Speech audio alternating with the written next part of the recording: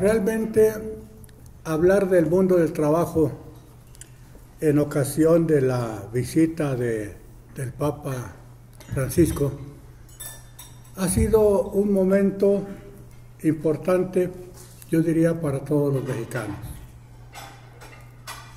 Primero los mensajes que nos ha dado a diferentes sectores, en diferentes lugares, realmente nos han mostrado esa sensibilidad por la problemática que vivimos hoy en el mundo, pero sobre todo aquí en México.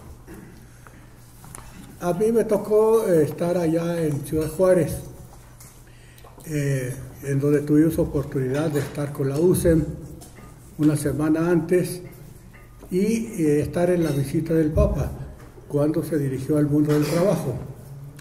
Y desde luego eso nos permitió retomar toda esa doctrina social de la Iglesia sobre lo que ha sido el magisterio de la Iglesia sobre el trabajo. Entonces, uno se hace una serie de reflexiones sobre cómo vivimos nosotros el trabajo de todos los días. Vamos a nuestro empleo, trabajamos nuestras 8 o 10 o 12 horas, reflexionamos sobre la razón, naturaleza y objetivos del trabajo, podemos ver eh, esos trabajadores en todos los sectores, cuál es su situación que hoy se vive. En realidad fue esa oportunidad para pues, la relectura de tanto eh, mensaje, las encíclicas, sobre, sobre todo el Papa Juan Pablo II, que tanto le dedicó a reflexionar sobre este mundo del trabajo. Y nos permitió pues tener este tipo de oportunidades de relaciones, contacto con los diversos sectores del mundo del trabajo. Por eso es importante esta reflexión aquí con ustedes, porque hoy ese mundo del trabajo está mal. Realmente yo diría que estamos en situaciones que nos deben de lastimar y que nos deben de llamar la atención. Yo creo que cuando vemos eh, y oímos las palabras de los papas sobre el mundo del trabajo, siempre nos han llamado a buscar la perfección, el desarrollo, la maduración del ser humano. Y que en el, en el trabajo encuentren su su medio por excelencia para su realización humana. Todos estamos llamados a la realización personal y colectiva de manera integral. Creo que esto es lo que nos debe de llamar cuando encontramos las palabras de los papas. Y decimos, eh, el trabajo es un servicio personal. Gracias al trabajo le servimos a los demás. Le ofrecemos un bien, le ofrecemos un servicio, le ofrecemos un satisfactor. Pero uno siempre se pregunta, ¿es que el que está realizando un servicio está pensando que ese servicio se lo da al otro en función de su, de su desarrollo humano e integral? Es que el trabajador de la manufactura el que hace la camisa, el que hace el zapato, el que hace todo esto que nos ayuda a nosotros a poder vestirnos, a poder alimentarnos, a poder realizarnos, es que se piensa que yo estoy ofreciéndole al otro un bien, un servicio para su realización como persona. Es que durante el día pensamos en que esa oportunidad que tenemos de servir efectivamente nos sirve para nuestra realización humana. Esta es la, situación que, tenemos que hacer como reflexión cuando nos plantea el magisterio de la Iglesia efectivamente la razón de ser de nuestro trabajo. Y vemos también cómo nuestra constitución, nuestras leyes del trabajo, asumen ese tipo de, esencia de lo que es el trabajo humano y tienen una serie de medidas de protección y si vemos, por ejemplo, el artículo 123 constitucional, fíjese que es bien imperativo este, este artículo cuando se refiere al mundo del trabajo. Y nos dice, tú tienes derecho al trabajo y a un trabajo digno. Tú tienes derecho a un salario y a un salario remunerador.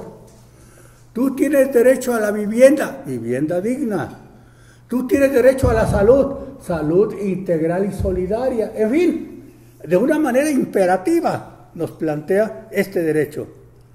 Y bueno, ahí está la Constitución que nos plantea esto. Y la Ley Federal del Trabajo que desde 1931 eh, esta ley del trabajo mediatizó esa imperatividad que da la Constitución.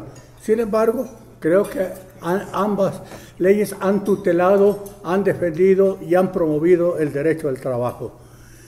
Los convenios internacionales que México ha firmado, pues prácticamente pues son letra muerta. Tenemos el convenio 87 sobre la libertad sindical y la libertad sindical es el derecho de asociación, el derecho a la contratación colectiva, el derecho a la huelga. Y vemos cómo está en este momento el derecho a la sindicalización. Realmente, fíjense, en este momento solo un 10% de trabajadores está organizado sindicalmente. Somos 58% de población económicamente activa. Así es que ni 6 millones de trabajadores están organizados.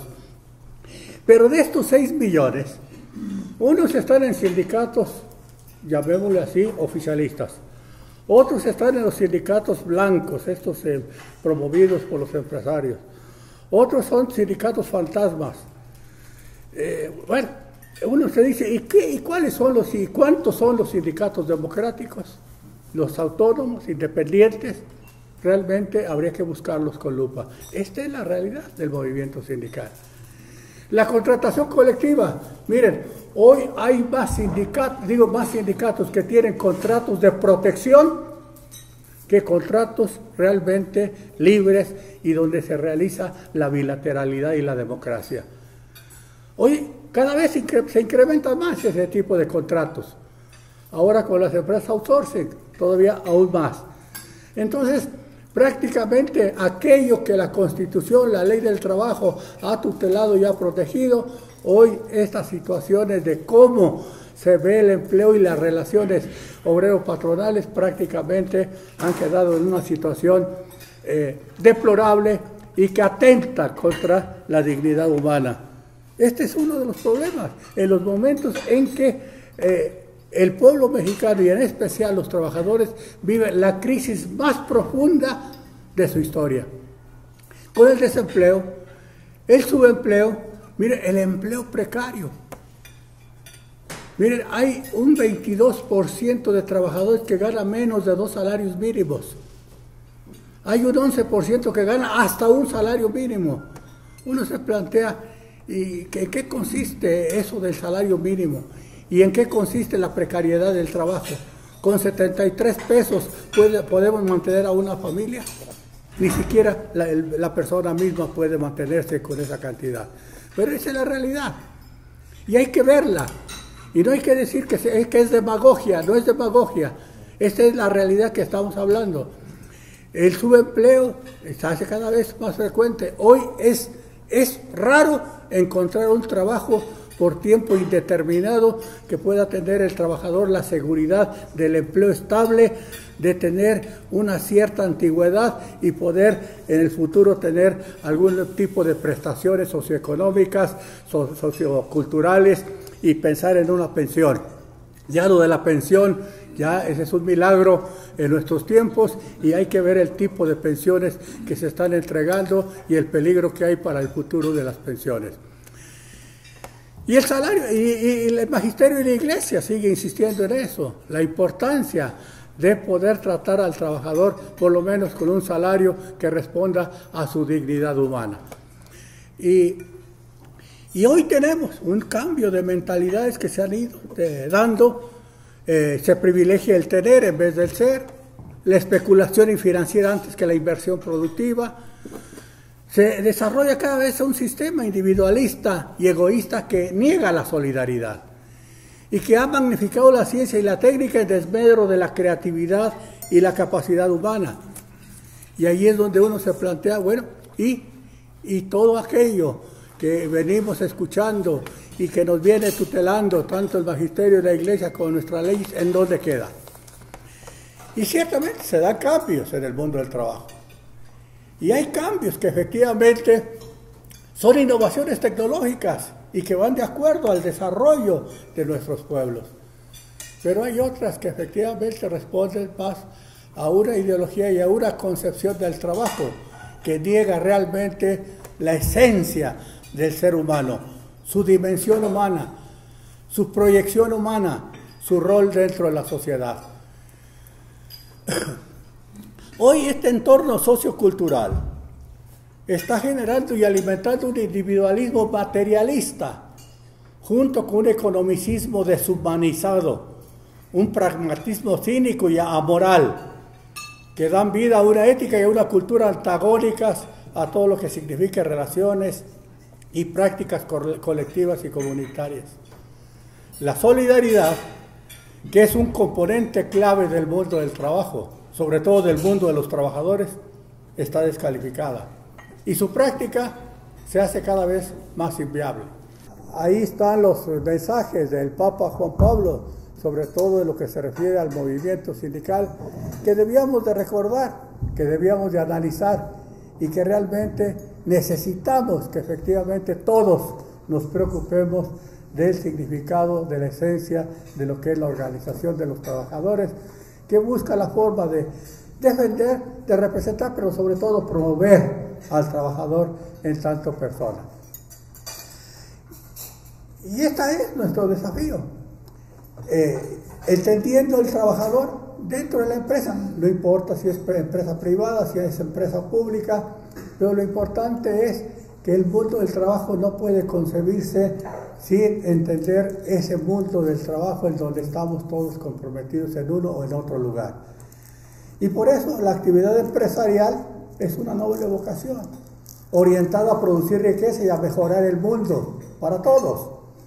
Puede ser una manera fecunda de promover la región donde se instala y se crean puestos de trabajo. Dice ahora esta encíclica última del Papa Francisco. Dice, aunque la empresa es una entidad económica, no puede reducirse solo a esto. Debe orientar su compromiso económico y técnico hacia los valores éticos y morales de la justicia y de la solidaridad. Bueno, esas palabras son extraordinarias en Juan Pablo, en Juan Pablo II.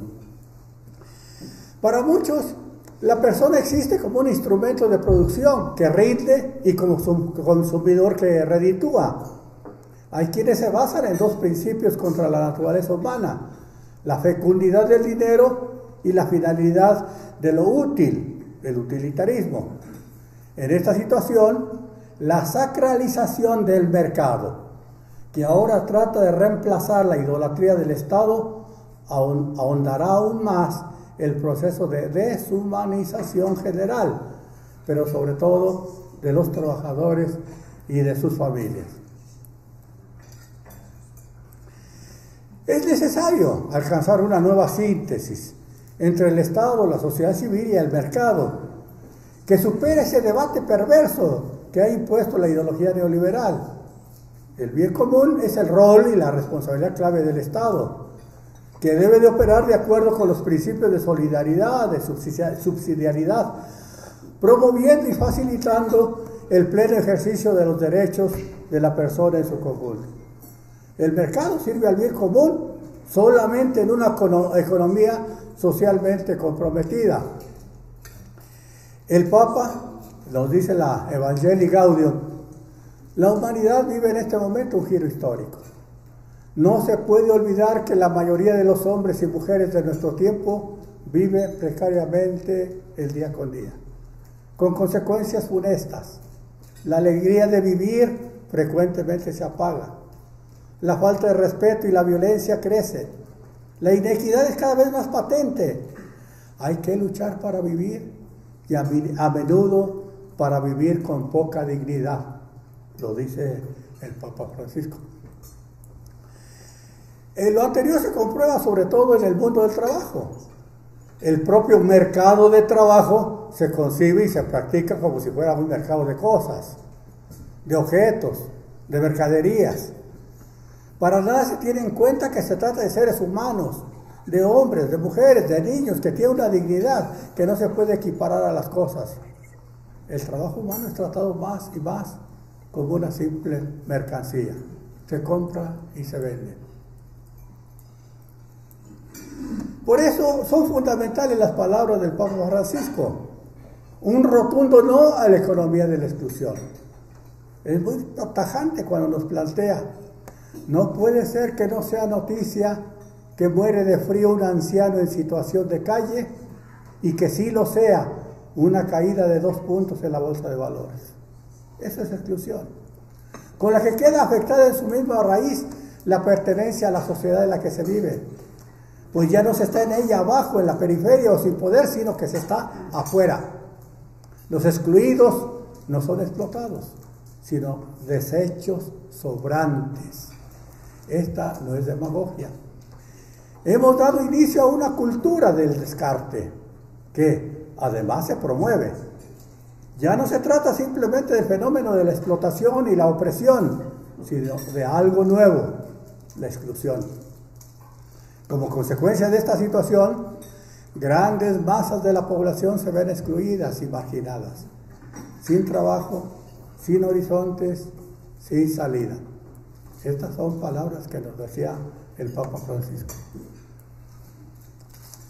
Y cuando uno ve las, los datos del Coneval y nos dice que hay 51 millones de mexicanos que se encuentran en inseguridad, inseguridad alimentaria, que vienen en la pobreza 53 millones de mexicanos, que el 63% eh, que se encuentran en el mercado laboral no está registrado en el libro ISTE, que el 15% de la PEA está desocupado en forma abierta o pasiva. Bueno, simplemente son datos que uno se plantea, bueno, eh, ahí estamos viviendo la realidad hoy en México. ¿Cuánto desempleo? ¿Cuánto subempleo? Que ciertamente son carne de cultivo para eh, hoy grupos de delincuentes, para eh, carteles de la droga, para la delincuencia, etcétera, etcétera. El promover el desarrollo integral de los pobres es de los gestos más simples y cotidianos de solidaridad ante las miserias muy concretas que encontramos. La palabra solidaridad está un poco desgastada y a veces se le interpreta mal, pero es mucho más que algunos actos esporádicos de generosidad. Supone crear una nueva mentalidad que piensa en términos de comunidad, de prioridad de la vida de todos, sobre la apropiación de los bienes por parte de algunos, La necesidad de resolver las causas estructurales de la pobreza no puede esperar. No solo por una exigencia pragmática de obtener resultados y de la, la sociedad, sino para sanarla de una enfermedad que la vuelve frágil e indigna y que solo podrá llevarla a nueva crisis. Mientras no se resuelvan radicalmente los problemas de los pobres, renunciando a la autonomía absoluta de los mercados, y de la especulación financiera y atacando las causas estructurales de la inequidad, no se resolverán los problemas del mundo y en definitiva ningún problema. ¿Qué hacer? Es imperioso que los gobernantes y los poderes financieros levanten la mirada y amplíen sus perspectivas. Que procuren que haya trabajo digno, vivienda, educación y cuidado de la, salud para todos los ciudadanos Dice el Papa, estoy lejos de proponer un populismo irresponsable, pero la economía ya no puede recurrir a remedios que son un nuevo veneno, como cuando se pretende aumentar la rentabilidad, reduciendo el mercado laboral y creando así nuevos excluidos. Todas estas palabras nos deben de llamar la atención cuando la Fede Sol nos dice que pese a programas de los gobiernos, más de la mitad de los mexicanos está en la pobreza que entre 2005 y 2013 el precio de la canasta alimentaria fue mayor que la inflación promedio, lo que afectó a las familias de menores ingresos. Eh, la Secretaría de Trabajo habla de una pérdida del poder adquisitivo del 73% de su valor. La Comisión de Salarios Mínimos aumenta cada año 3 pesos. pero la canasta básica aumenta 10, 15%. Con la reforma fiscal se han aumentado los servicios y, buenas, y, los bienes en un 12%. Esto ha provocado que hoy tengamos más de 26 millones de personas en alta marginación, según el sistema de seguridad pública.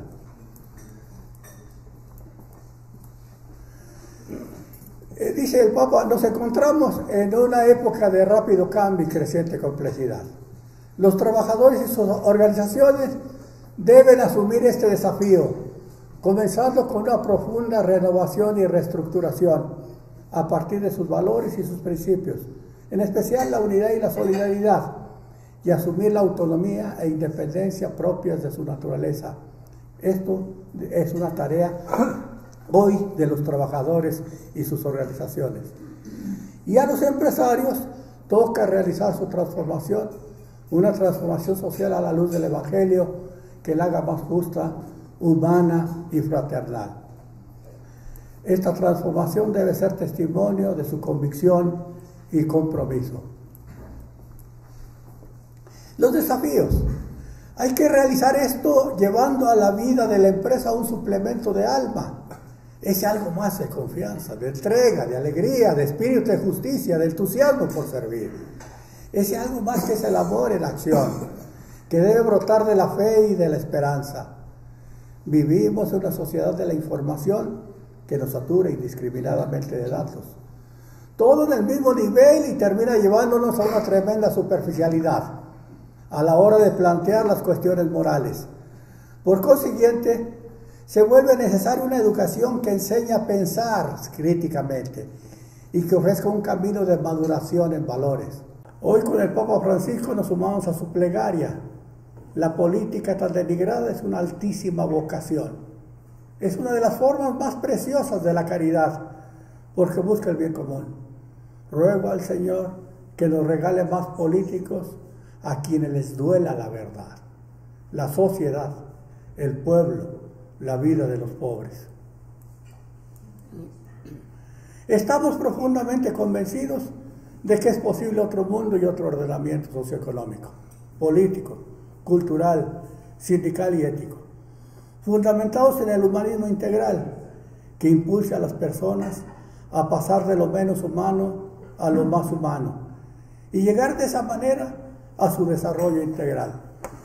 Estas son algunas ideas, fuerza, que he tratado de, en una síntesis muy apretada, plantear este mundo del trabajo, que cuando me tocó intervenir en, allá en Ciudad Juárez con el Papa, le mostraba los rostros de ese mundo del trabajo, del campesino, del migrante, del indígena, del niño de la calle, del niño trabajador, del que está en la economía informal, del, que no tiene empleo, en fin, los rostros de esa gente que todos los días se debate en la incertidumbre, en la falta de esperanza, pero que nosotros tenemos una responsabilidad de plantearle la importancia de ser hijo de Dios, de su dignidad humana, de trabajar intensamente por cómo ofrecerle condiciones que lo eleven en cuerpo y espíritu.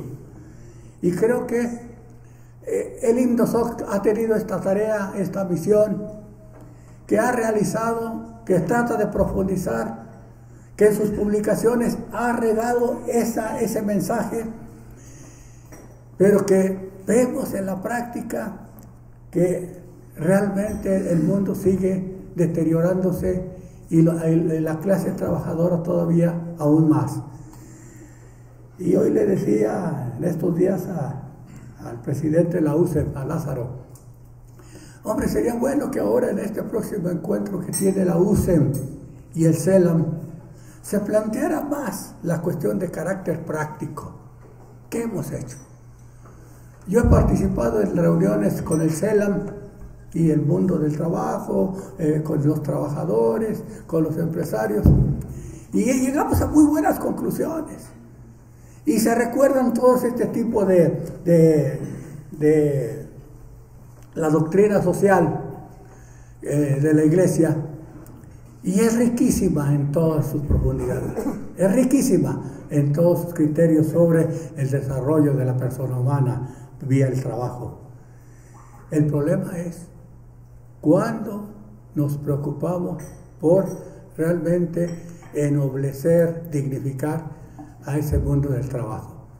Les agradezco esta oportunidad, quedo a su disposición y con mucho gusto, pues a mí me gustaría mucho que pudiésemos establecer algunas ideas fuerza que nos ayuden a llevar a la vida este compromiso que tenemos con la promoción humana del el trabajador, porque finalmente es quien nos da el servicio, nos proporciona el bien y nos permite nuestro desarrollo en la sociedad. Muchas gracias.